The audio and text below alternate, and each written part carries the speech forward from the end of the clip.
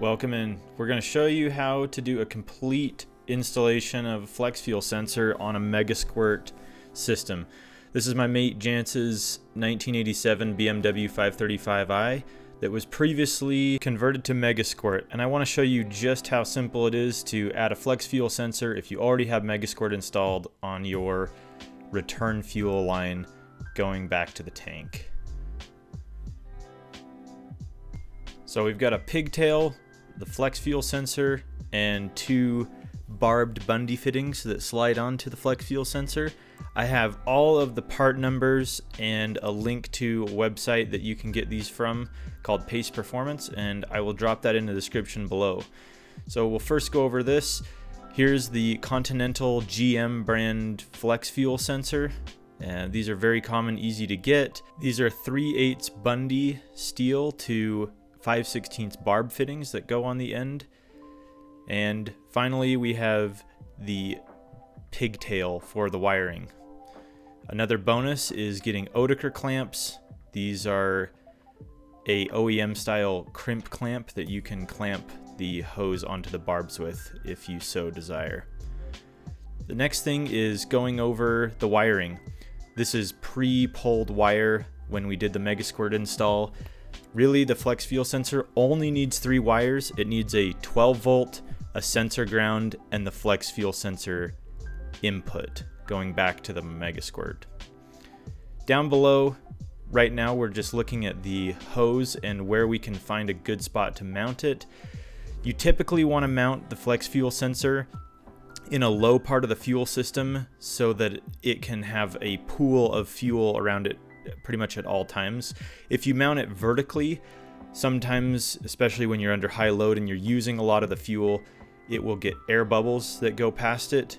There will not be a constant flow of fuel. So you want to put it in a low part of the system. I find it easiest when you add some sort of lubrication to the end of the barbed fitting, especially when using push lock. We are using Continental push lock 5 16ths uh, diameter for this and sometimes it'll fight you trying to get it in. So just add a little bit of lubrication right before you try to get these things sunk in. The bigger the push lock, typically in my experience, the harder they are to get the fittings in. So with a little bit of lubrication on these makes it a lot easier and it just keeps it from tearing the o-ring that's on the end of the fitting and giving you a hard time getting that fitting in. So same goes for both sides of the return fuel line. Just another reminder, this is on the return going back. You can plumb these in line on the pressurized side of the fuel system. However, I find it easier to go on the return and since there's lower pressure, you have a little less risk of any of these fittings leaking or causing a flow disruption in comparison to just using the return line going back to the tank.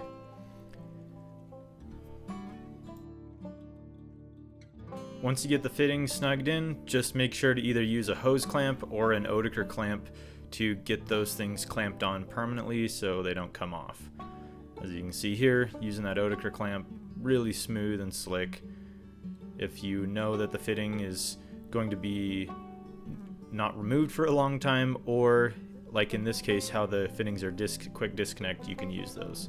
And then go ahead and find the final resting spot for it. In the future we'll be making a plate that this sits on, but for now we're just going to use zip ties just to get it in place. Moving on to the wiring, there are three wires that come out of the sensor. The sensor just needs 12 volt, a sensor ground, not a dirty ground or a common ground, and the sensor output that goes back to the ECU. So now we're just trimming the actual runs from the Megasquirt from the car to length, finding a good spot for it, stripping them back a little bit, and getting them ready for some heat shrink butt connectors that we'll be using. These back about a quarter of an inch and then twist the braided strands so that they don't fray out when you put them inside the butt connector fittings. These fittings are 20 gauge. You can find them on Amazon or eBay. They're just a heat shrink butt connector and this Carlisle set of pliers that is a stripper and a crimper combo is amazing. I highly suggest them. A lot of different companies make similar tools like this. I'll try to find one and put it in the description below, but they're one of my favorite for simple butt connector crimps and uh, a lot of wire stripping and things like that that you would do on a project similar to this. The pink wire on the end of the sensor right here is for power and the white with a black stripe is for sensor ground and then the white wire on the end there is for the output to the Megasquirt for the actual flex fuel output. Just make sure that you have a sensor ground and not a chassis ground for this. Once you have everything crimped up, just go ahead and heat shrink it down. You can use a simple heat gun or a lot of the times I've used a lighter and just got the flame close to these fittings just to get the heat shrink to crimp down all the way. Make sure you put enough heat on them so that they're fully sealed off so in case you wash your engine bay or any water things get close to it, it'll be completely sealed off. And then once you finish this, it's time to put some wire loom on there. In this case, we've used some split loom. I think you can find this one pretty easily off Amazon or eBay. Since it's on a side of the motor that will not be getting a lot of heat, this is suitable even though it's not actually a fire rated style. You can find fire rated styles, they're significantly more expensive, but this is on the colder side of the motor and away from the exhaust and a lot of the major heat components of the engine. So I found this one to be suitable after using it for a few different years. I can give you a link in the description for some on Amazon or eBay, but you just simply open the split part of the loom and feed the wires down inside of it. Another pro tip, if you don't want all of these connectors to be bunched up in one area, you can stagger them. So the width of each of these butt connectors, you can just stagger down each wire. So each wire progressively is cut longer and or shorter on each side. But in this case, it wasn't too big of a deal. This loom reaches over it and we just put a little bit of loom tape just around the ends and that bulge where those fittings were. Lastly, apply just a little bit of oil to the steel fittings so that when you click into the Bundy fittings, you don't damage the O-rings. The quick disconnect fittings that go onto the steel part of this sensor have O-rings down inside of it, and it is best practice to not push dry metal against the O-rings if you want them to last very long. So just as a safety precaution, I always put just a touch of lubrication on those before we click them in. As you can see, really slick. Once you get these fittings crimped on, it is just simply pushing these Bundy fittings on. And once you hear them click, they're completely sealed and ready to go. You typically, unless you have a manufactured defect, won't have any issues once these guys clip in over the end there. Just trying to find the best routing. I think that's one of the most difficult parts of modifying an old car is there's so many different things in the engine bay. Sometimes just finding a decent route for things is kind of tricky. So just take your time, find a route that won't get in the way of any of the moving parts or won't get in the way if the motor flexes. And after you've clicked in the connector there, we're gonna go to the inside of the car and get this thing set up a couple of quick zip ties to keep it in place, and as all professionals would do, you clip the ends of the zip ties. So here we go. We'll jump into the car now and get this thing set up on the Megasquirt. All right, so we're just gonna hook into the Megasquirt now. We'll do the update later because it'll still run fine just like this. USB is in, and we'll click on our project. Then just turn it to you on. Cool. You can see it's connected. Everything's getting a reading. Everything should be wired up. So now all we need to do is go into um, our flex settings. So under fuel settings, fuel sensor settings, just click this and we're going to enable it. It's already wired up. It's using the flex wire as the input and uh, it's going to require a restart to burn. The biggest thing that we're going to have to change right here is the ethanol mix, there's a baseline down here at the bottom, and I go over this in another video, but most gasoline in North America has 8 to 10%. And so when you just go fill up at, I don't know, any of the gas stations like Texaco or um, Chevron, it's going to have about 8%. So we want to give an 8% baseline so it doesn't change your fuel table. Basically, that just makes it so the gas that's in your tank right now won't modify the fuel settings in any way.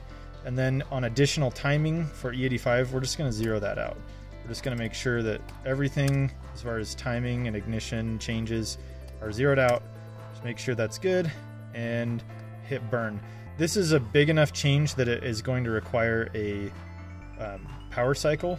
So we're just going to power cycle the, we'll just power cycle the ECU. You can go ahead and shut it off. And you can turn it back up. Okay, cool. And what we'll probably do right now is just change this to E85 correction. If you go to E85 correction and it's at 100%, that means that right now it's seeing no difference to compared to your baseline fuel. So you're getting your exact same settings from your fuel table right here. So it'll just take your fuel table as you've tuned it previously. Um, all right, so what you can do is right click on the gauge to change what the gauge output is. So if you go to sensor inputs and ethanol content, this is the actual percentage of ethanol in your fuel currently. It's floating between 9 and 10%. And like I said, most fuel in North America is between 8 and 10% ethanol content. You want to just get your settings in the flex fuel as close on the baseline setting to what the actual fuel you're getting is as possible. If it's within a percent or two, it won't make a huge difference, especially like within 1%. But since we're actually closer to uh, 9 and 10, I, I put in 8 as the default, but we'll just go back into the flex settings and change this to 9. And that'll split the difference between fuel that has a little less and a little more. I think it'll be pretty good. As well as this, you can just go in, save the tune again after you do that, and you can see it hovering around there. We'll just go into calculations and go back to E85 fuel correction and see how it's at 100%. That means that it's not changing your fuel map at all until we add more ethanol. But you just want to get your fuel setting, the baseline amount of ethanol to match up to the the amount of ethanol in your typical pump gas that you use. So that should be it.